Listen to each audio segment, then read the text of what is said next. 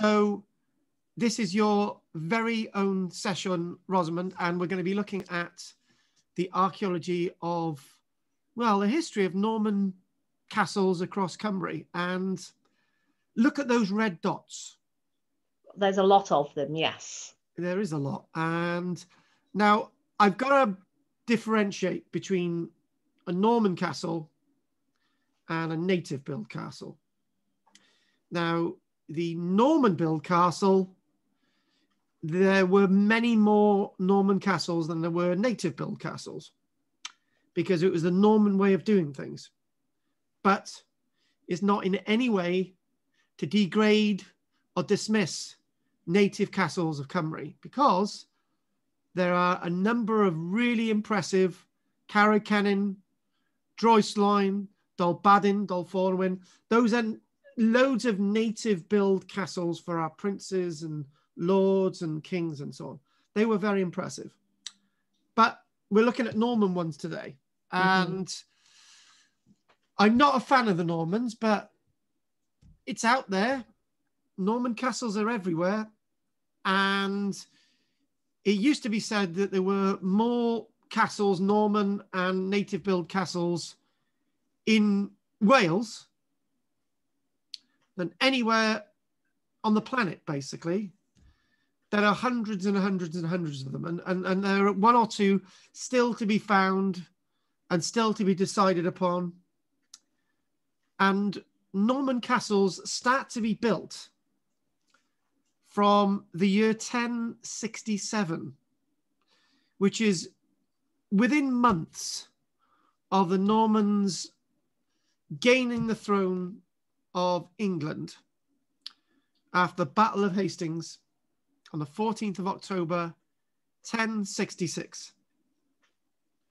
It took months for those damnable Normans to get to the border of Cymru.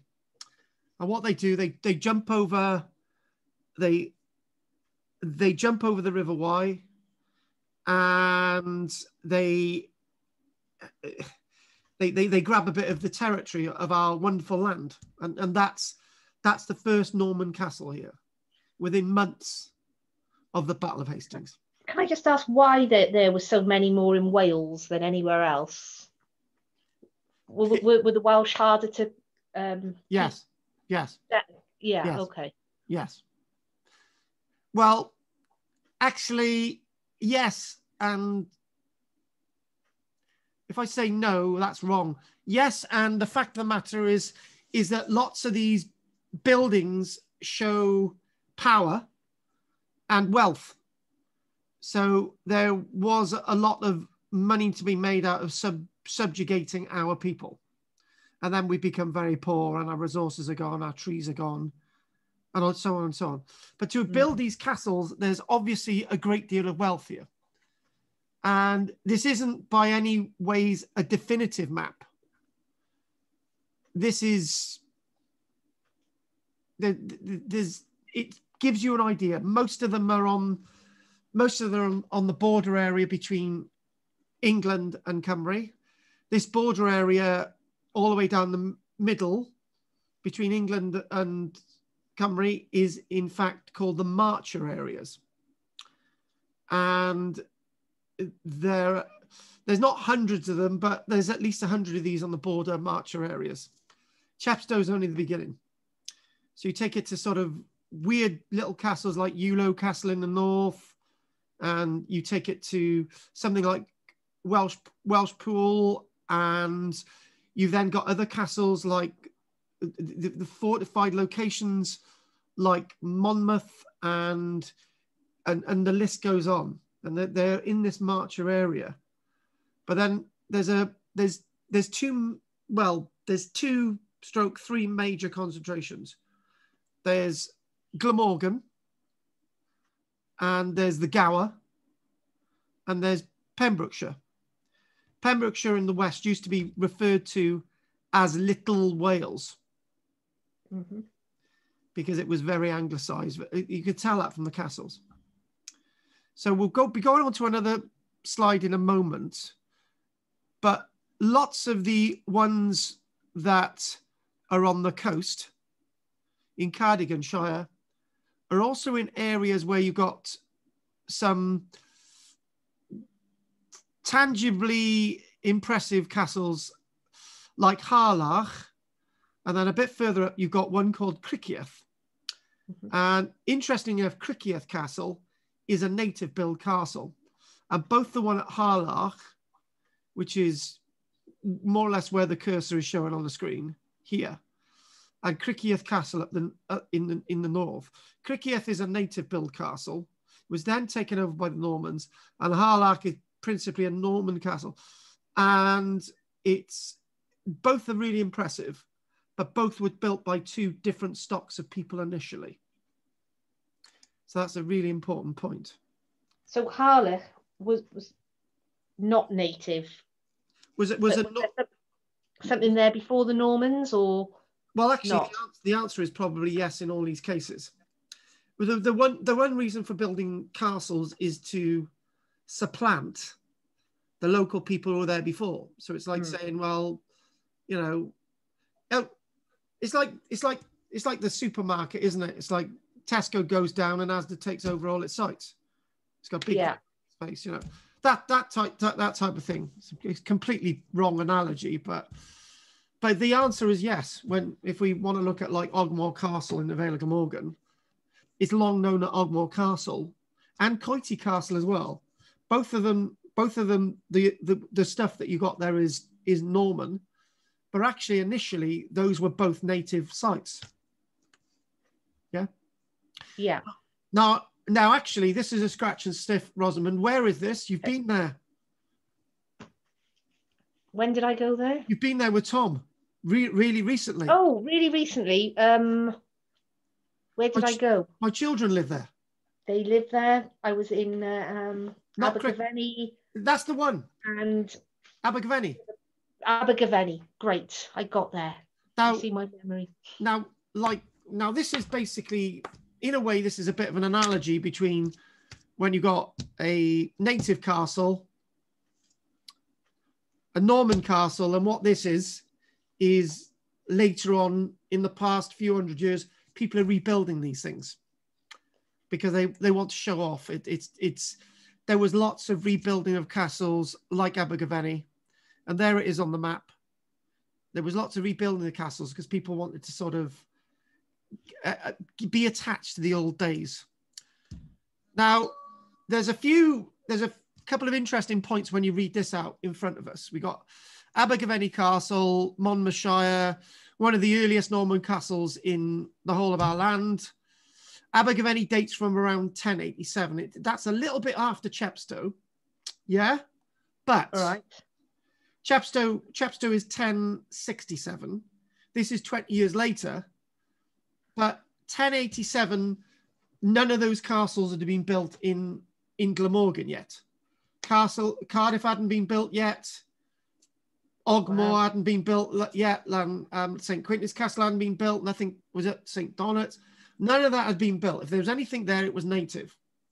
So that's 1087. That's probably not far off. It, it's probably one of the first 20, 30 castles to be built. And then there's hundreds of the bloody things. So we're talking specifically the word castle. When we use the word motte, motte and bailey, motte and bailey, it's just a mound, a conical shaped mound with a ditch around the outside. And then there's another defended area away from that. That's called a motte and bailey. But castles themselves, as they develop, typical stone castles, are the ones that we're looking at. Now, some castles have really tragic stories associated with them, and Abergavenny's one.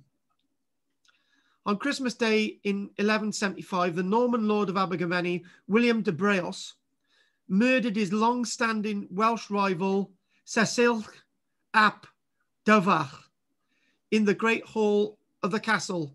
And with him, Seisyll brought with him a number of other local lords and stuff. So William de Brail said, Oh, come on, lads. It's all right. Come on over. It's going to be fine. We're friends after all. And he massacred them all. Mm. Now, the reason why we mentioned that is because castles have stories, not just a castle, they, they have these backstories.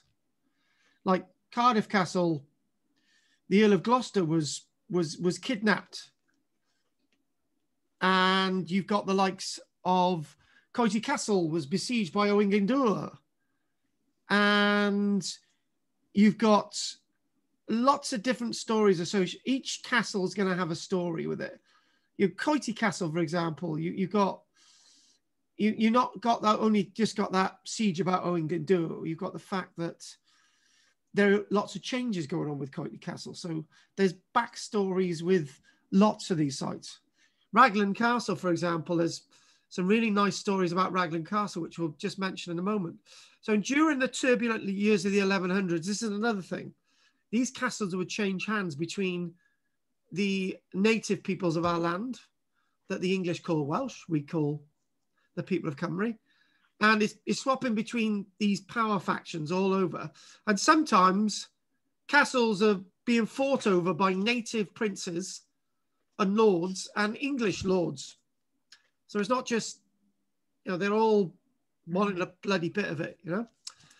So talking again about Abergavenny, the castle was significantly added to and strengthened during the 12 and 1300s. And the reason why these things are being strengthened because there's problems you know, there's there's problems between everybody. There's all in the reign of King Stephen, for example, in 1136, when there was the first civil war in England between um, Empress Matilda and King Stephen, it would be, you know, people would people would be on different sides, and there would be even people in our side of the border from England who would either be on Stephen's side or Matilda's side. And in England, there'd be people on this side and that side. So it's always these things are constantly revolving. And this word, the English Civil War, I call it the British Civil War. You can't call it the English Civil War when it took place in Scotland and Ireland and, and Wales.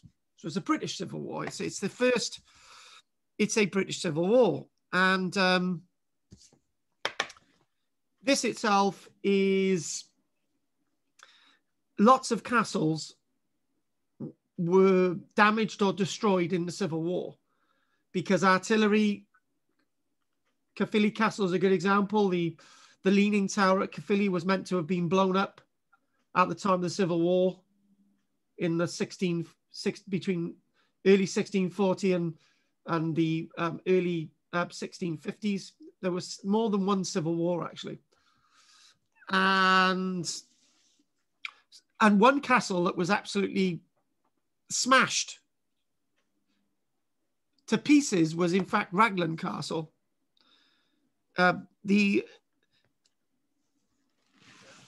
I, I, um, some some some if you if you go to these places you can remember the names of these people. the the great financier of King Charles was resident at Raglan Castle, and hmm. obviously Cromwell won the war. So, you know, his castle was was taken off him, and he and he lost everything, including his great library was set alight.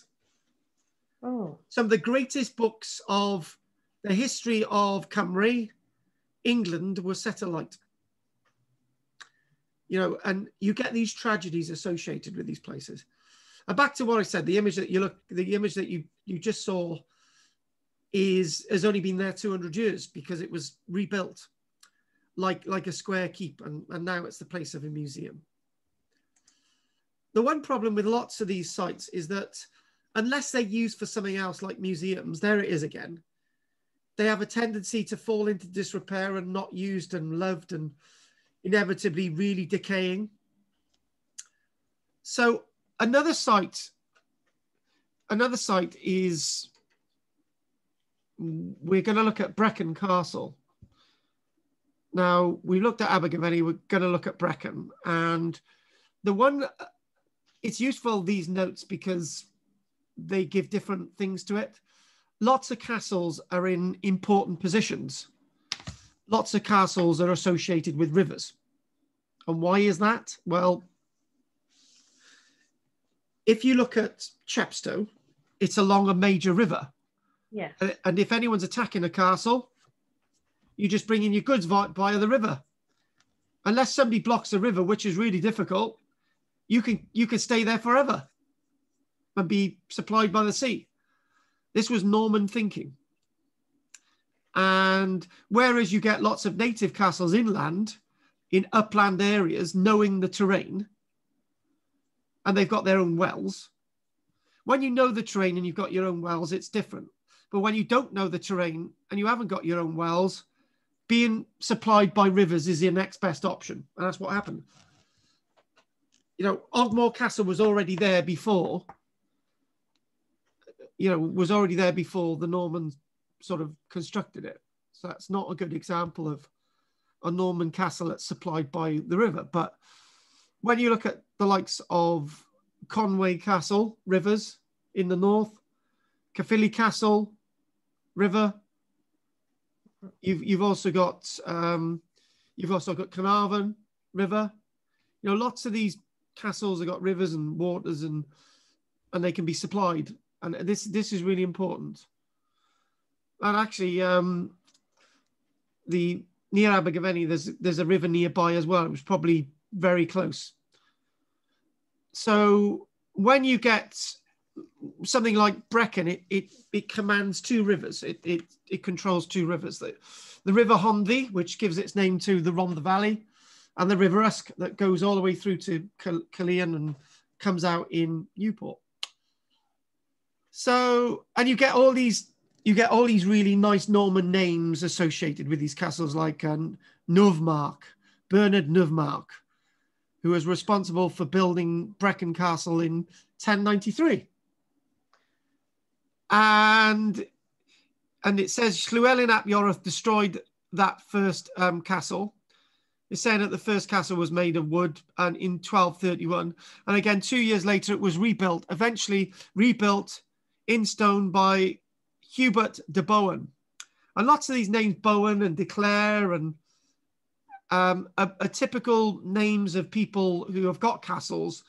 And lots of these lords have more than one castle. So at one point in the late 1200s, the De Clare family could say that it had Caerphilly Castle. It also had St. Quintin's Castle. It would have been in control of lots of castles. So it's usually that these lords have more than one castle, and that, that, that that's the thing. And Abergavenny you can get to any time. Actually, you can you can go into Brecon Castle as long as you pretend to be a guest because it's now a hotel. Oh. I, I, remember taking a group there and um, and and that that's that's exactly what we pretended to be. So I've just um, I've just got to. What about Ruthin Castle? Because Tom and I have stayed there. That is North Wales, yeah. Yes. Because there's just also. Because that's a hotel now. That um, I was just thinking of Brecon being a hotel. Yeah, um, that that's the point. That that that that is a really good point. Lots of these that have been converted into hotels um, are saved forever in a way, but mm. there's lots of alterations. But the one thing I, I say is that you know these buildings should be loved, and one of the big criticisms I've got about our country of Cymru is that people come up with ideas like, you know, we want to buy the remains of this castle. We're going to keep the walls of the castle, but we're going to turn it into a hotel. And local authorities say no. And 10 years later, the castles are falling down. Now, personally, you know, the, they should have been allowed to do what they needed to do with that, that castle and manor house. A good example of that is, is um, a building in Llantwit Major called uh, Llantwit Major Castle. It's actually a manor house, and a local person bought it off the council for about a pound, and they invested millions of pounds in it. And now they are selling the building, and it looks beautiful. They've they've preserved the building from the outside. It looks great. Yeah. Now, if they hadn't been allowed to do that, and if the people hadn't been allowed to do this with a hotel and Ruthin and other places, these places would be fallen down by now yeah they, they wouldn't be there so there's lots to be said by by allowing these places to be preserved for a long time because they're being reused. So, like lots of these sites, they started off at Motte Bailey's, as the description tells us. And we, have got those dates there and we it, it's talking about the lines of the eastern curtain wall of the castle and the opposite wall of the great hall have been uncovered during excavation work so we know a lot about them and it's talking about it's a large area 130 meters by 100 meters so it's it's quite considerable area lots of these castles in wales are really impressive and it uses words like banks and scarps and and and commanding buildings and towers and sort of typical language when you look at these types of structures. And there you go. It's now occup- uh, part of it is now occupied by the Castle Inn and Hotel. Hmm. So we got something really, really nicely well preserved. So there it is. So it's not, lots of these places are not difficult to find because you go into Abergavenny, you see the castle you go into Caerphilly, you see the castle. And I tell you what, if you miss a uh, Carnarvon castle when you go into Carnarvon, you might, well, yeah, you, you, you obviously don't know what a castle looks like. So lots of these castles, you, you can see them because they're meant to be seen. And they've always meant to be seen. They've always meant to be impressive. And, you know, Brecon, again, you cannot miss Brecon Castle. You just can't miss in it. It's it's just oh well. And also, here's a good example: Chepstow. it's impossible to miss Chepstow Castle. Yeah, it really, really is. Now, one one thing that um, this is actually this is actually a little bit of a plan, and you can see that there is the castle and it is within the confluence of two rivers the river the river Honddu and the river Usk. so it it it it's oh you only need to defend it on two sides because the other two sides have actually got rivers and it also it, it not only do you command the rivers you control the trade going along those rivers as well oh, and you can use them as defense and lots of times castles are associated with churches and and abbeys and other things that go bump in the night. So it's by it's by examining and understanding what's going on that you can start to learn. Now, I I wanted to just you know we've looked at that. This is something else now. So when we when I said about castles, it's difficult to make out what this says, but this is in just a small area of Gwent so you can see within this small area of Gwent, you can the castle. Let's just do a bit of a count. I, I so between the border and Heref, uh, between the border and Brecon, you've got 1, 2, 3, 4, 5, 6, 7, 8, 9, 10, 11, 12, 13, 14, 15, 16, 18, 20, 22, 23, 24, 25, 26, 27, over 30 odd castles in that just one area. And those are the ones that are marked on the map. And if you look, if you actually look, lots of them are, are you see these little lines here? Lots of them are along rivers. Yeah. Monmouth along a river, Chepstow along the river, Abergavenny along a river, Usk along the river, Crickhowell along the river, Brecon along the river. Spot the castle that's not along a big river. Well, there's one there, and uh, maybe one or two others, and that's it. They're, they're mainly along rivers so would there have been like a main castle and then the other ones were sort of smaller ones that or were uh, they all just as important as each other well actually the answer is yes no yes and no because okay. over time so if you were specific say ask me get, get ask, ask me just chuck a date at me 12 1260, what was the most important castle in Glamorgan? Castle, uh, Cardiff. In 1260, the most important castle in, in Glamorgan was Cardiff, right? Because the De Clare family was the most important was the most important family in Glamorgan.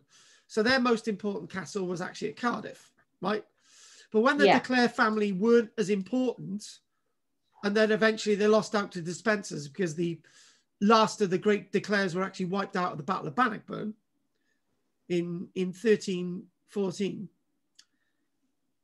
When you um, so obviously castles and the importance of castles shifted somewhere else, whoever was in charge. Yeah, so you'd say you like you say took Goodrich Castle, for example. Yes, I've been there. there. Yes. That seems to be maybe a smaller castle. Yes. Would it have been like a lord who lived there, for example? Well, um, actually, actually, they were built by lords for lords, but lords very rarely lived in them. Right. because um, okay. because built by lords for lords. Yeah. What what would what would happen? Say, for example, the um, the English king would say, right, if you if you do a bit of fighting in in over the border, so the English would call us the Welsh. So if you fight against the Welsh the territory that you capture, you know, that's going to be yours, or half the territory that you capture is going to be mine, and half of it's going to be yours. So what would happen is the Lord would say, take over Brecon Castle. If there was an early castle there, I don't know, right? Can't answer that one. But he wouldn't actually live there. He would just put a custodian in to look after the castle right, okay. And if you're a Norman or English lord and you've got all these castles, um, you know, you've got more time on your hands. Do you know what I mean? You've, you've just got, you can't, you can't live in all these castles. It's impossible. You might be a lord and you might have 50 castles. So you might have half a dozen castles in Scotland. We'll have two or three in Somerset. We'll have half a dozen in Wales. We'll have a couple in Yorkshire the king wants me down by him, so I'll have one in Kent. So some so of these powers were really out Britain. Yeah. Okay. So he'd always have somewhere to stay wherever. He was. Yeah, that's right. And the other thing as well is, by king by the king granting you different lands in different areas, you can't get you can't get massively powerful. But unfortunately, that didn't actually work because the big families like the De Clares eventually started to get massive control. And this is how you get the Wars of the Roses. So from the late 1300s, you get the War of the Roses ended in of 1487.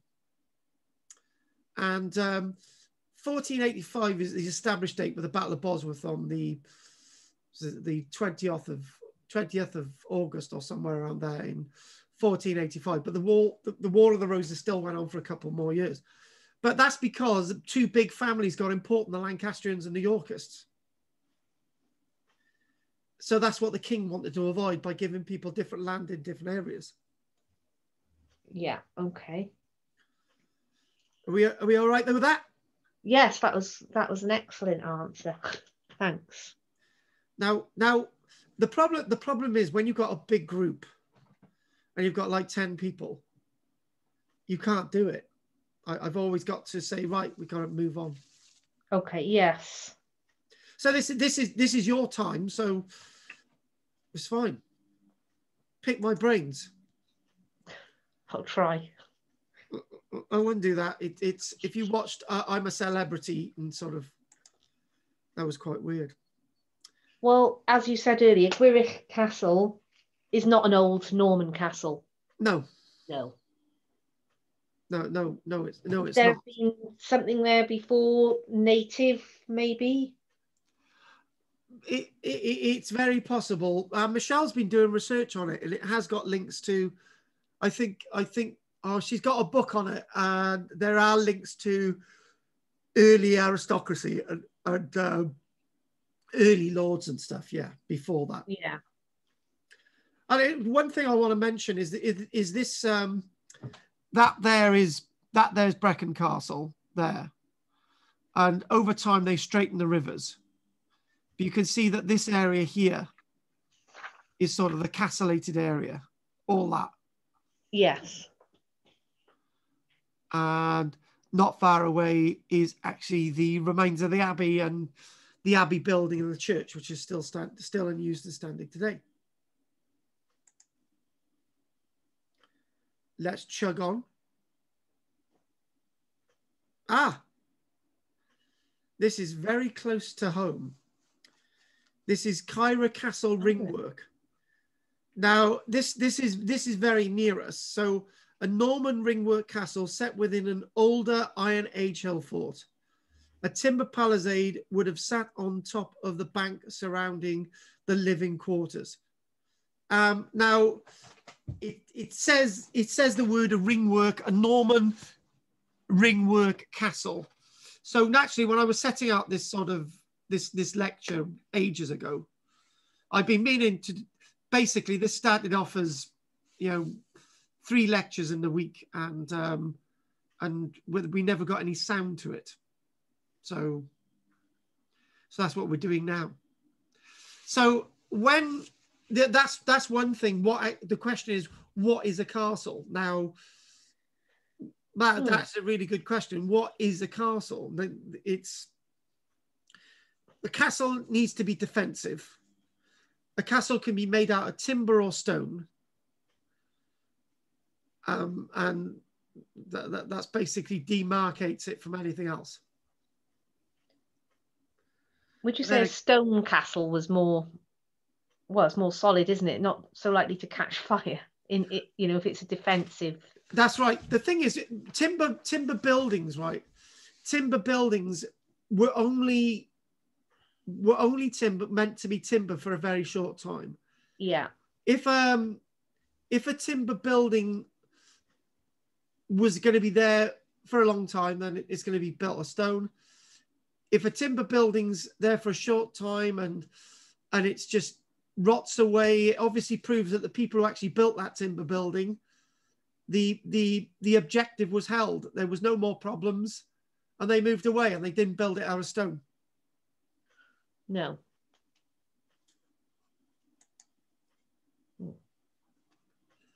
take take some of that down. We're moving on to the next one in a moment. Okay. Oh, and there it is. And so that's what it is. is.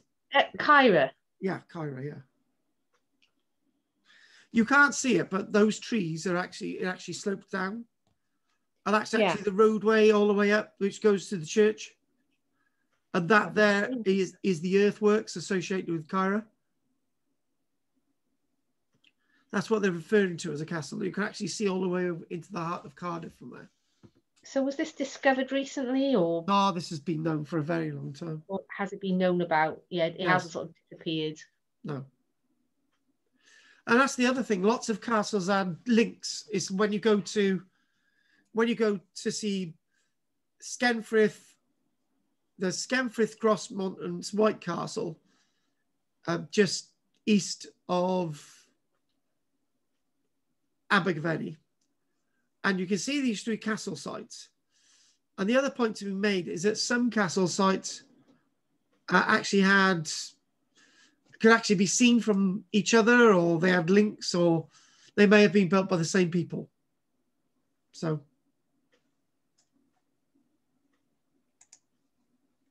But that, that's that ring thing up by here and that's the modern day church. And that there, these are actually the banks of the ring. I've never been there, so I'll have to have to have a look at that. You need to take Tom with you. Yes, he would like that. I wouldn't go up in his Porsche. Oh, he hasn't got a Porsche. yes. So this, this area, this area here, all of this harp-shaped area, this is the hill fort. Um, and this this at the end is the ring work, and that's the church. So, and this is this is the landscape of Caerau, and that's the, the bypass, which you use to go down to. Oh, uh, okay. How I get up to um, Culver House Cross? Is it near there? Yes.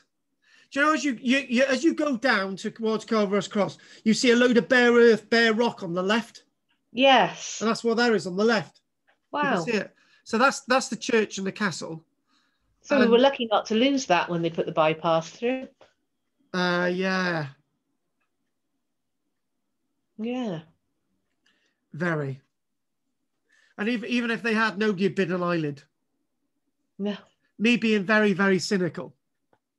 Yeah. The, well. Other, the rest of the area is actually the area of the hill fort. So this was actually built smack bang in the middle of this hill fort. Yeah. It was quite a well defended area, wasn't it? Um, yes. And, look at this a minute. that, that's where it is. So the bypass and there. force. Of course, we went up to Dinas Powys Hill Fort.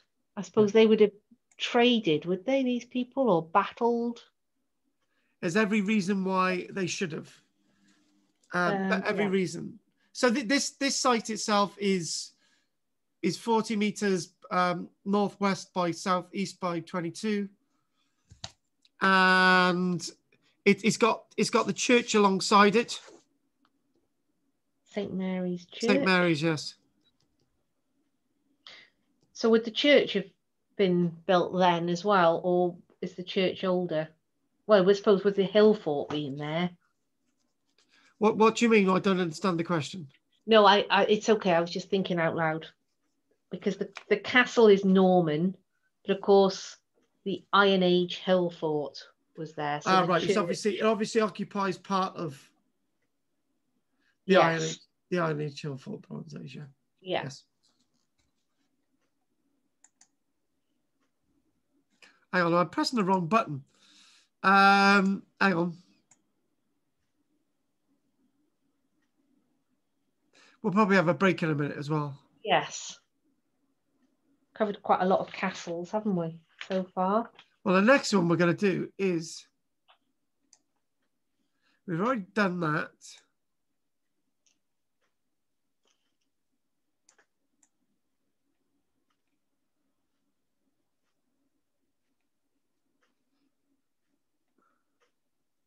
What we're going to do next is Caerleon Castle. Caerleon. Yes. So what we'll do, we'll take a break now. Okay and you, you've done pretty well. Mike, Mike, do you know what? We've only got 32 minutes left. Well, we've done very well, haven't we? And 10, min- 10 minutes of that is, is um, t- yeah, 10 deciding, minutes. Deciding what we were going to do and bugle playing. Yeah, that that is really that's really true. yeah, I get I get I get to do a bit of a bugle in a moment. So what we'll do, we'll um we'll pause that now. Okay, I'll put this on silent then, is it? And um, 10 minutes, yes. back in 10 minutes. Okay. Yeah. All right, speak to you in a minute. Cheers. We're recording now. So so we're next to the last little bit. So Caerleon Castle. Now, this is one of the things. There, there are lots of little castles around as well, like the one at Caerleon. And Caerleon is like the others. It's it's in a defensible position. It's along a river, the River Usk. Um, it's, it's one of those castles that went back and forth. Let's just read the description. Although the Romans had fortified the site centuries before, today's remains are mainly those of a Norman motte and Bailey castle dating from around 1085. Seized by the famous William Marshal, again, another big name, like the De Clares, another big name, the timber castle was rebuilt in stone and we, we got Oh England mentioned in 1402, captured the castle. So again, we've got another, see all these little things coming, all these little similarities, leaving it in to fall into ruins. And the buildings collapsed over the centuries that followed. And Rosamond. Hello. So what we've got, we've got that the other thing as well, the other words here, I know this is all over the place, it's meant to be different aspects. And um, the castle is in private hands. So some of these places you can't actually get to and can only be viewed from the road. But like lots of castles, there is accessible bits like the one at Brecon. You can access a bit of the tower. And if you go in there as a, as a guest, you can, um, with, with this as well, the tower can be seen from the Hanbury Arms. And there's a tower in the middle of nowhere. And lot, the other thing as well is it's mentioned the Roman site. Lots of these places reuse early material. So, you know, a Norman Castle oh. might might reuse the remains of a a, a Roman site, and, and and and the Normans will might make use of what was there before, and so on. And if you're going to rebuild something later on like this, usually th this is a this is a bit more of the like bit more of the rebuilt wall associated with the castle. But that is that nice tower. If you ever get to Caerleon, alongside the Hanbury Arms, there's this really nice bit of a round tower that's completely made yeah. out of Roman material. Wow. Lush. Um, Do you know, I, I always like take, taking people to this tower. It's it's it's the highlight of my visit when I go to Caerleon. Um, so the round tower is made from Roman. Yeah, look at it. There's bits of Roman stone all over the place. Yeah. So what did the Romans have there then? Um, uh, they had a Roman fort. Okay. There's there's a there's a Roman fort there, and it's it's a it, it is a really gorgeous tower if you ever get to see it. It's worth a drink and sort of wander around, and that that's the sort of map there. So you go again another one. You go over the bridge. You got the tower on your right straight away. So so none of these castles are disguised. You know you you could um, if you went to Caerleon, you could miss the Roman remains. It's easy to do. You can go to Bath and miss the Roman remains. You obviously yeah. can't go to Hadrian's Wall and miss Hadrian's Wall, but you can. You can just go on the main motorway and you, you've just gone past it. Um, yeah.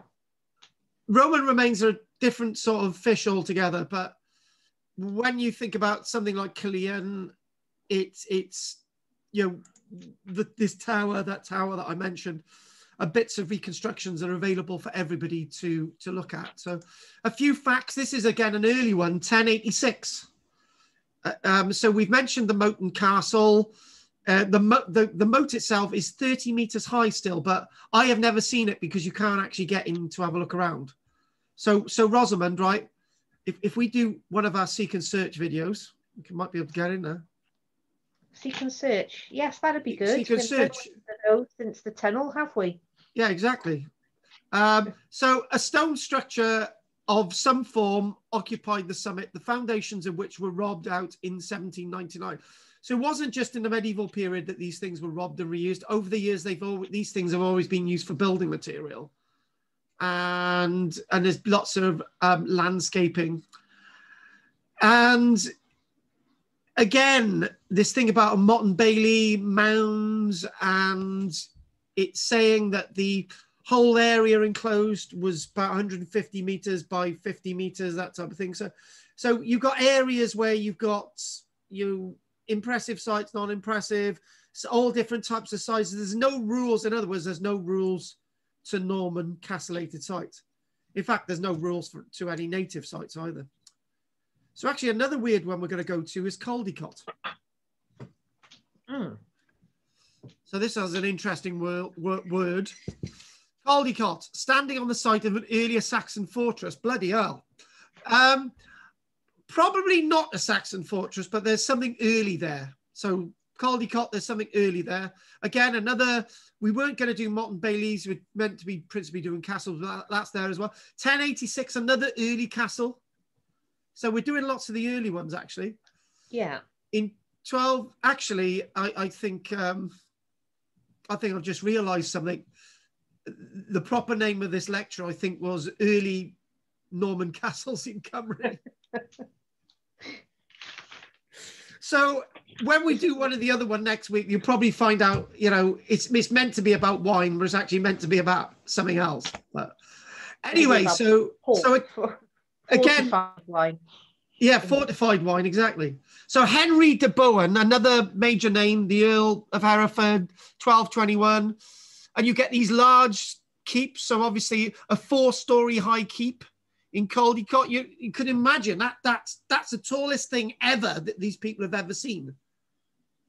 When you think about scale, you know a four story tall building my god that's that's the it's like it's like um, phenomenal really isn't it yeah it's like you know that when they built the um, empire state building in in in new york yes that was the tallest building and people thought my god that's amazing it's like the eiffel tower nobody had seen anything like the eiffel tower that tall ever and, and it's just like and it's like the pyramids they, they, they see these, these, these towering pyramids and it's the tallest thing.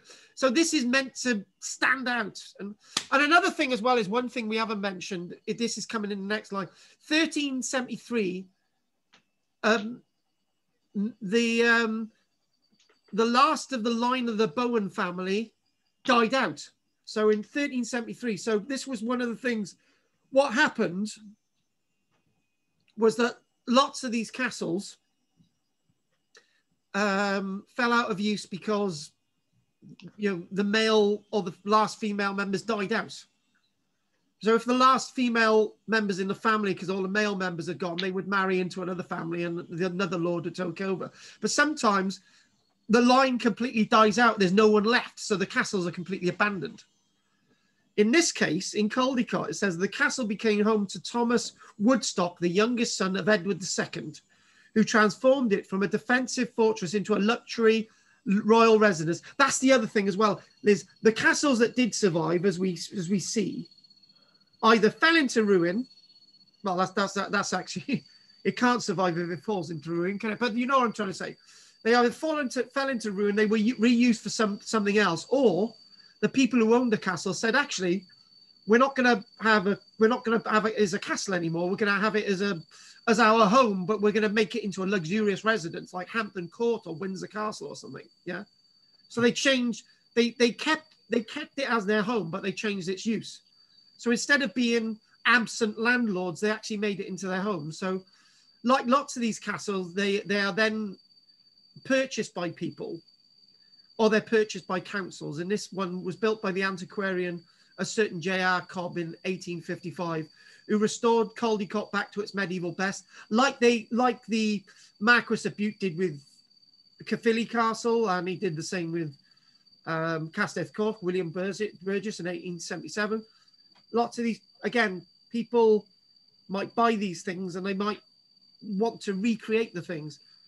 And so, actually, yeah, it says the castle now stands in 55 acres of country park to be honest with you, I don't know actually who owns it. That, that's probably your homework for next week. Is it still owned by the, the same family, the Cobb family, that bought it in 1855? That's your homework for next week. Right. So we're going to crack on a bit. And that that's how impressive these great towers. Look how impressive these are. So not all of what that's the other thing. Not all of what you see with these castles. There, there, there's where Caldicot is. It, it's you, actually Caldicot, you, you need, well, there's exceptions to the rule. When you go to Caldicot, you need to take a couple of turnings and then you get to see this magnificent castle. When you do see castles like like this, sometimes lots of what you do see has been rebuilt. It's not exactly all the original castle. So again, it's talking about Caldicot being a castle that's 100 meters east by west.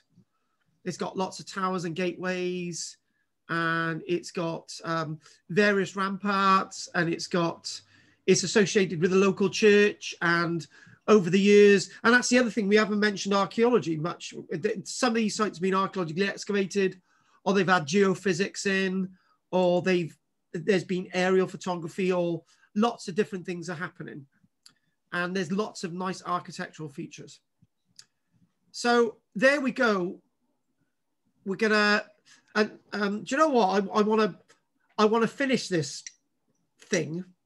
So if we go five minutes over, that's what we'll do. So Camrose Castle, Haverford, West Pembrokeshire. Again, it is early early Norman castles, Rosamond. 1080. so this is early. This is other than the ones that we've seen. This is 1080. So, so this seems is like that's when the main building was going on. Yes, it, did, yeah. did, did, they do much in the, the future centuries or? Hmm.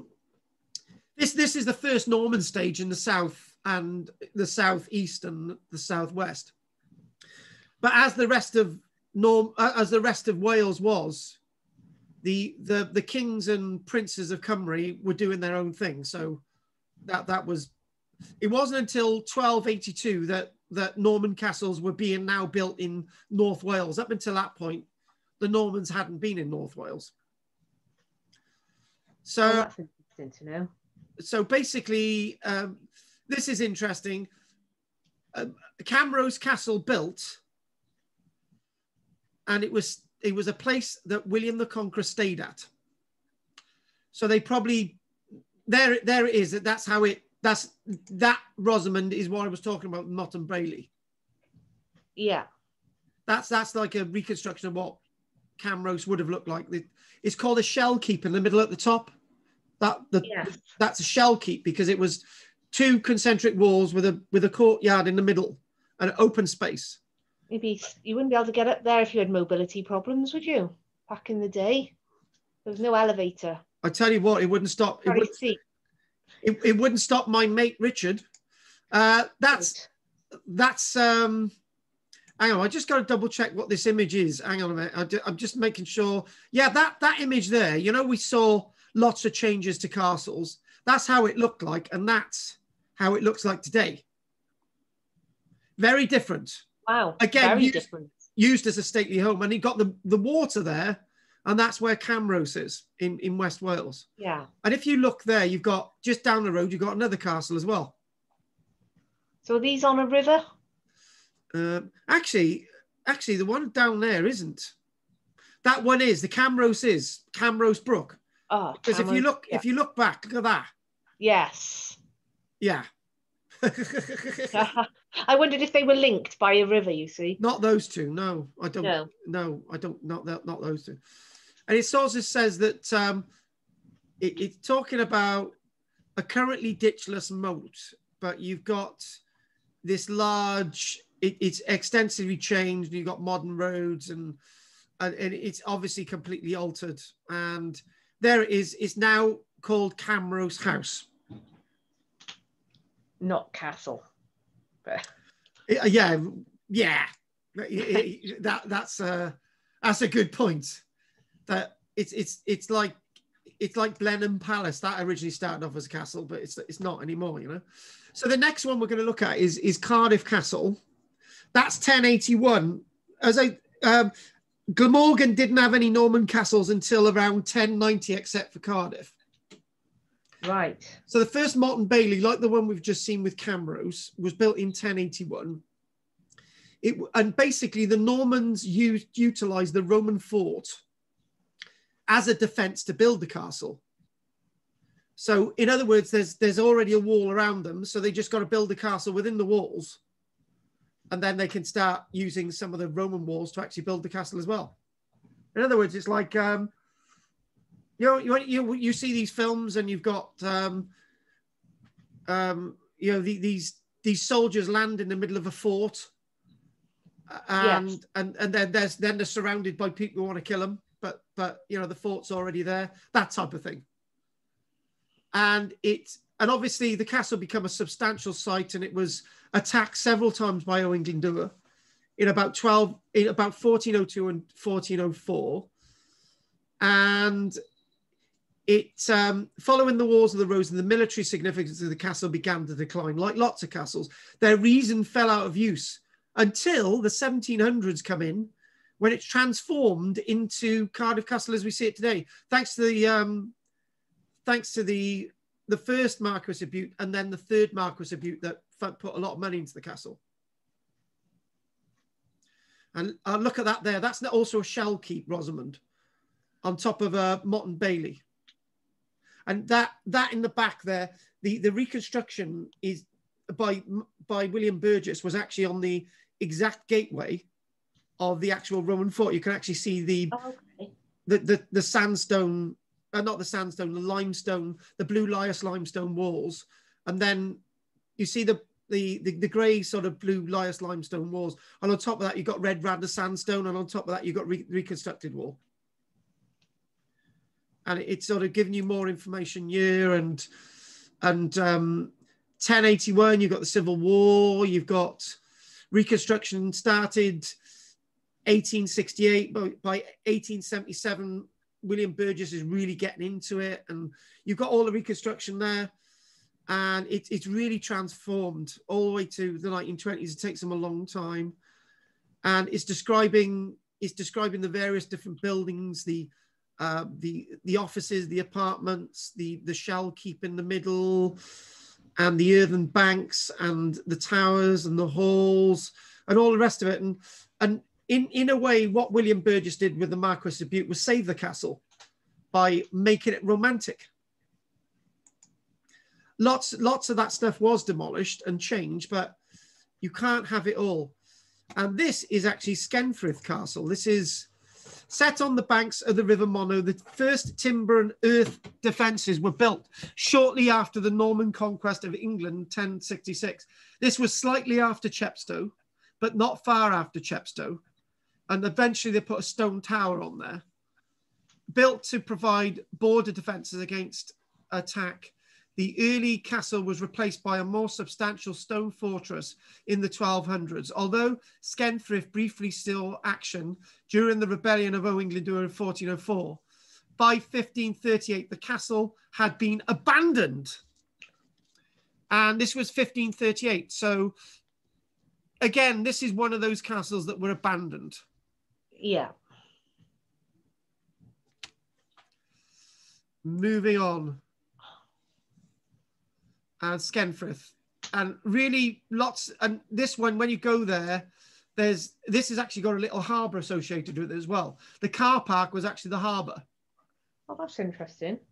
So when you go, ah, and also don't go to the castle when it's when it's raining a lot because you might not see your car because it'll just oh. get washed away into the river. It does happen.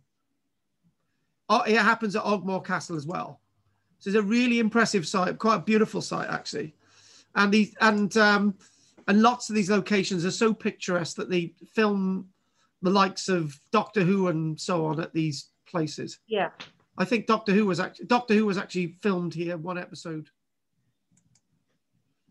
and uh, re really, really typical and there's Skenfrith, and it's very close. Look at the border; it's very close to the border. So this would be classed as a this would be classed as a marcher castle.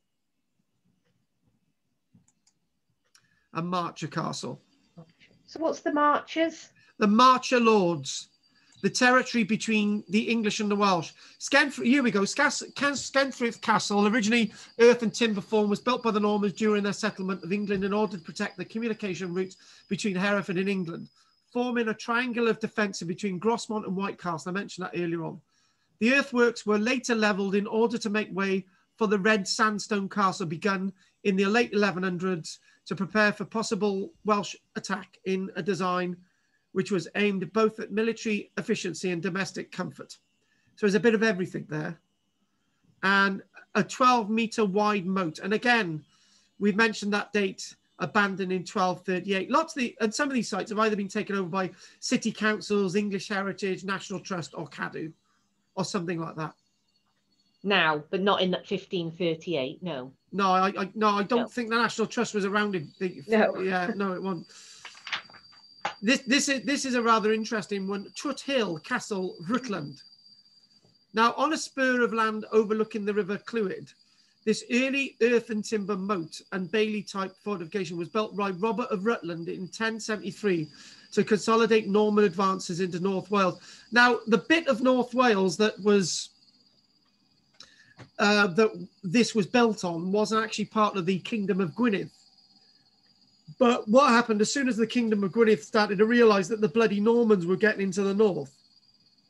It is claimed that the site was originally occupied by the royal palace of Gruffydd ap Llywelyn. Um, and ba- basically, um, yes, so, so they would have reclaimed it and then it went back in hands. I think that's what that's trying to say. So he, he built a site there, then Gruffydd ap Llywelyn captured it and the, the, the kingdom of Gwynedd said, right, this is our territory, not English. And then it changed several hands. And then over time, into 1282, when Edward I new Rhuddlan Castle was built a short distance away downriver. So, again, you know, when we get into that late period, we actually see lots more Norman sites and this massive mound. So the, the, the princes of Gwynedd said, bugger this, you know, it's ours. So they took it back. So good. It, it's, um, it, it's, it's a protected site. Lots of these sites are, are scheduled and protected. And then finally, do you know the, um, we haven't done Chepstow, have we? We mentioned Chepstow. Chepstow Castle. That building there, that that bit of the building there probably dates that that architecture there probably dates precisely to about 1067. Wow. That that what you're looking at. 1067. And it, it's it's a very, very impressive site. And again, and, and look at that there now. Yeah. That overlooks the river. And they would have had a system of pulleys to bring stuff up to the castle uh, and, you know, this could be easily supplied. So as long as you get a boat, what you'd have done, you'd have got a vessel in the middle of the channel of, of the river, and then you'd have got a little rowing boat over to the side of the wall. Um, and then then stuff would have been pulled up and down, and the ship would have protected these people from from the opposite bank. And this is this is all about defence. And they needed to build it on the on the Welsh side because the, on the English side, it wasn't that defensive. So they built, they captured this little bit and they build it here. Yeah, it looks um, solid there, doesn't it? And and look at that. That is the entrance in. That is the. Um, hang on a minute. Let's just go back a minute. That that's what you look at. the The gateway is there, and these massive, important, powerful towers. And and if, I remember right, forget my facts straight, that tower is known as the Tower of the Regicide. Somebody killed a king or something. I can't remember, but there's something. There's lots again, lots of little stories about these castles. And you're going to go inside now into the into this this look at that Norman architecture, absolutely beautiful. So you don't see much Norman architecture like this surviving. No, because it you know the Normans really didn't start to to get a massive foothold across the whole of Cymru until Edward I defeats Llewellyn the Last uh, at Cilmeri. It's then that it's then that you get mega castles like like um, Carnarvon and Caerphilly and so on. And and look at this here. Um, just just a just a little thing here. This is Rumney Castle, a ringwork and manorial centre. Again, the word ringwork and castle. This is one of the sites that archaeologically been excavated. Again, this is a fairly early site. And again, another indication of what you've got Cardiff Castle. Cardiff had Cardiff Castle, you had uh, Rumney Castle, you had the one at Caerau, uh, you, you got um, Craigie Castle, I think, and you got lots of other castles in a very small area. This is, they really want to get this really defensive. But that that one itself, his first mention was in 1184, but it was probably um, dating to a lot earlier than that. And they have actually excavated this. I've just got to just got to close the door a minute because it just suddenly swung open.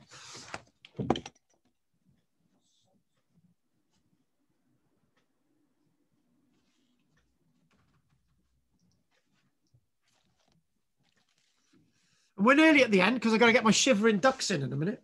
Oh yeah, it's quite. It drops cold at this time of night, doesn't it? It, it does. It does. I'll, uh, see, there, there you can see. Can you see that date on there? Um, Rumney possibly dates to 1081. 81. So along, so when they got to Cardiff, they thought they built all these little castles. And there's loads of information about it on the internet. So when you look at Rumney Castle, put in Rumney Cardiff, not Rhymney Valleys. There's a big difference. Ah, uh, yeah. Well, I didn't know there was one in Rumney Cardiff.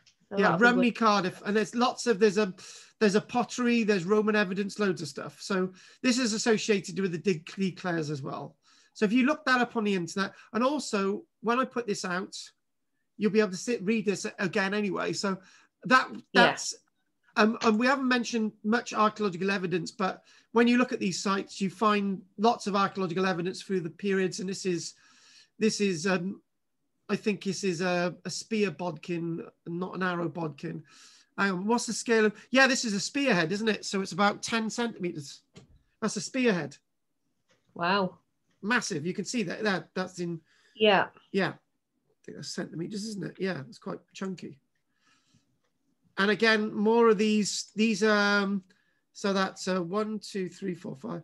Yeah, these are arrowheads.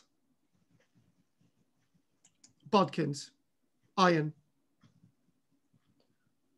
And again, looking at that archaeological evidence, and that, ah, weirdly enough,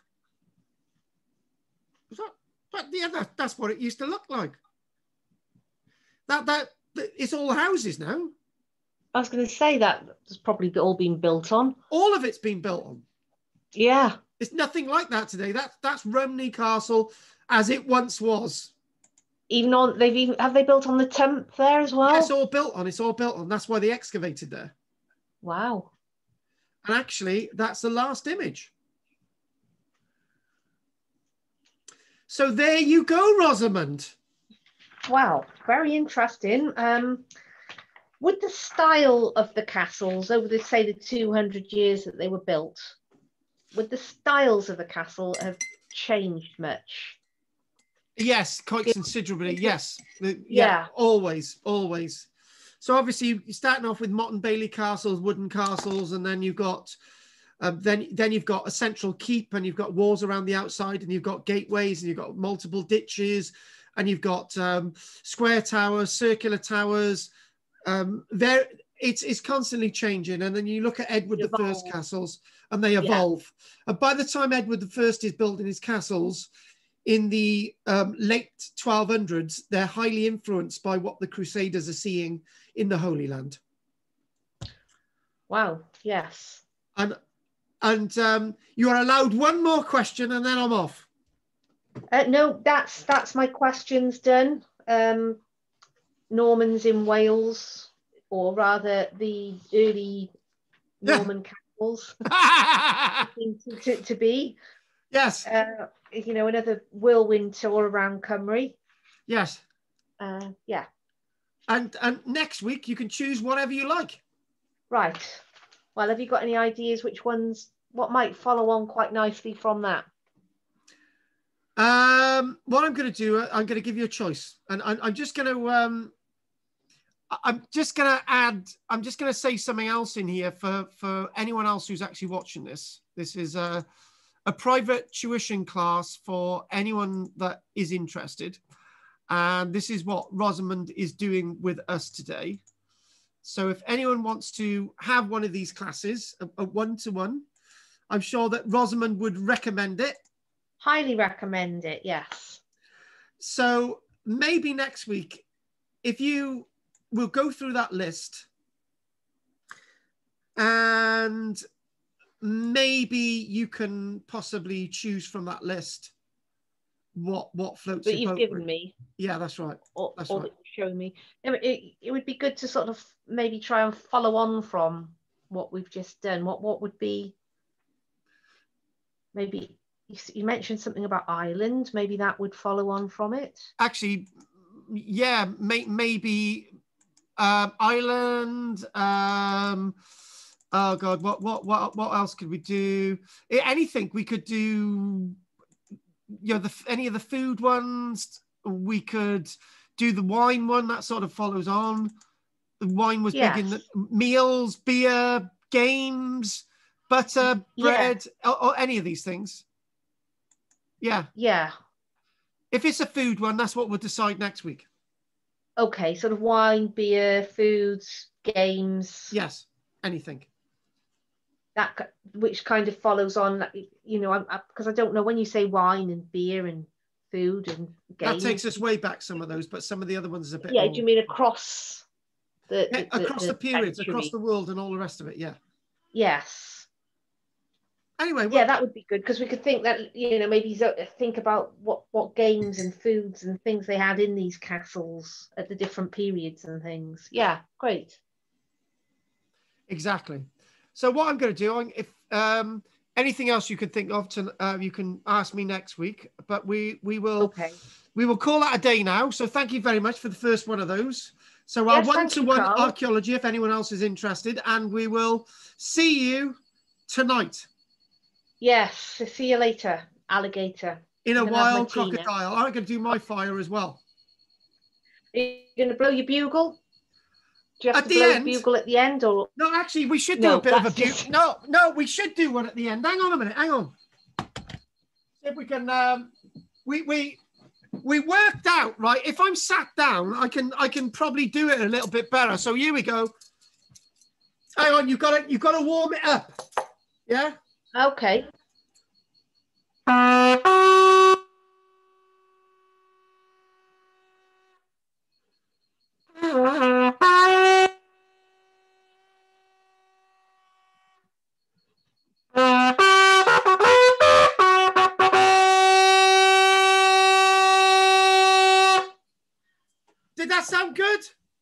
Marvellous. And that concludes today's um, lecture.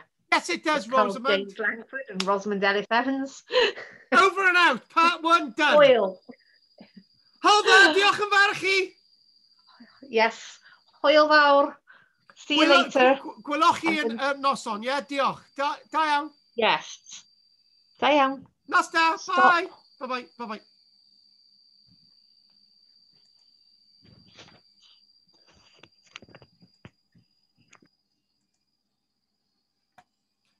so anyone that's uh, still watching this, it's um, this was actually a lecture that I was going to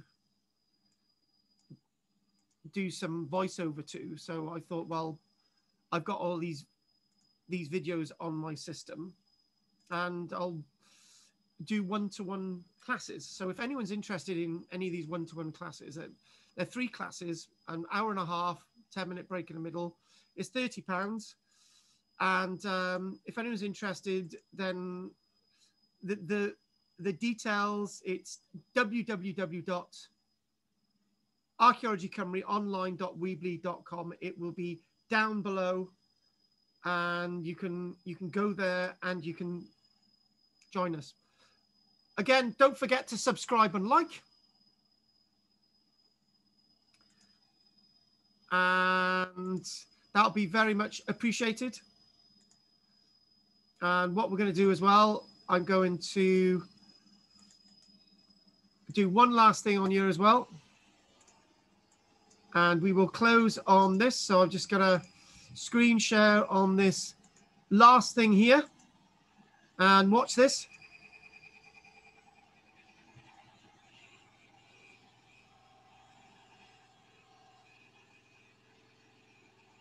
Again, thank you very much for watching this video and um, just come on over. I am an archaeologist, master master's degree in archaeology. Um, so if you want me to teach you anything about archaeology, come into my living room and we'll do this online. Great. Thank you very much. Over and out.